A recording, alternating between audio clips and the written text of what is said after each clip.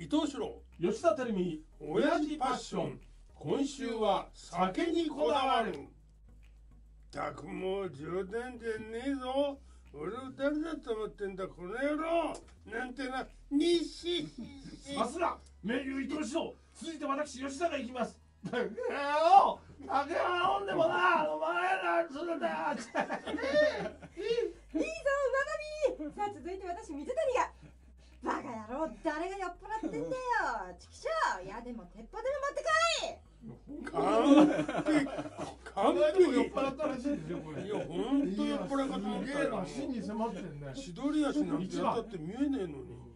今週は酒にこだわる伊藤四郎吉田照美親父パッション土曜の午後3時から